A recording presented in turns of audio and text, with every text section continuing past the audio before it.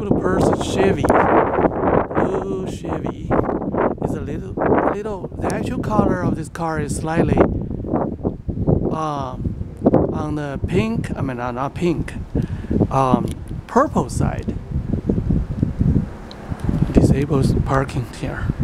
Wow, looking good. So the actual, the recorded color looks even better than the actual color there.